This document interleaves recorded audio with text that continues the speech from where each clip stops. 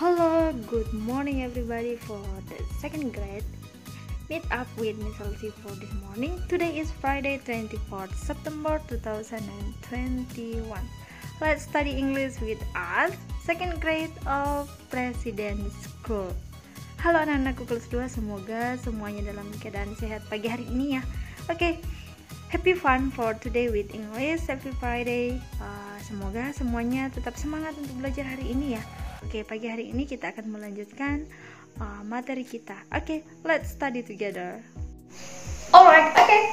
Our topic for today is about ordinal numbers. Oke, okay, anak-anak kelas 2 pagi hari ini Ibu akan menjelaskan sedikit mengenai ordinal numbers ya. Jadi dalam bahasa Inggris uh, itu menjadi dua.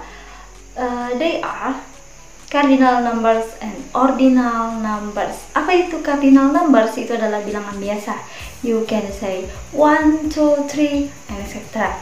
And ordinal numbers itu bilangan bertingkat ya. Misalnya kamu menyebutkan pertama, kedua, ketiga dan seterusnya ya. Dalam bahasa Inggris itu ada uh, sebutan tersendiri untuk uh, ordinal numbers. Oke, okay, let's see my explain for today. Let's go. Okay, anak kelas 2, uh, pay attention for my explain for today. This is about ordinal numbers, bilangan bertingkat ya, anak kelas 2. Perhatikan uh, penjelasan Ibu apalagi dalam penyebutannya nanti. Oke, okay, this is about cardinal numbers. Ibu jelaskan sedikit mengenai cardinal numbers atau bilangan biasa. Satu, you say one.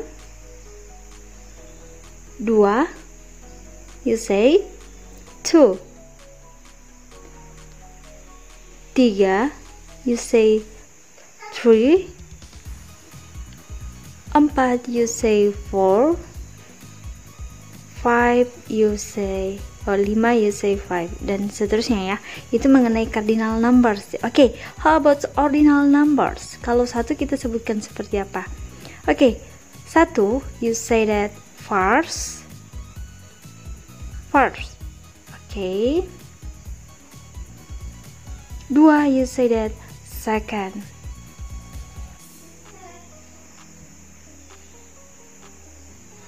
Tiga, you say in ordinal numbers, third. Third. Okay, next. Four, you say fourth. Jadi ini 1 sampai 3 itu berbeda ya. Kalau 4 sampai 10 itu sudah sama semua penambahan th di belakang.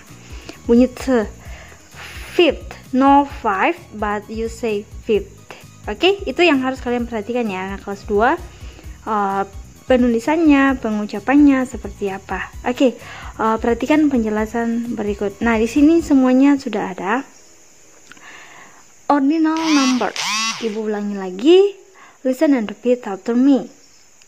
First, second, third, fourth, fifth, sixth, seventh, eighth, ninth, tenth, eleventh, twelfth, thirteenth, fourteenth, fifteenth, sixteenth, seventeenth, eighteenth, nineteenth, twentieth, twenty-first, twenty-second, 23rd, 13th, 14th, 15th, 16th, 17th, 18th, 19th. Jadi, anak-anak kelas 2 perhatikan pengucapannya ya.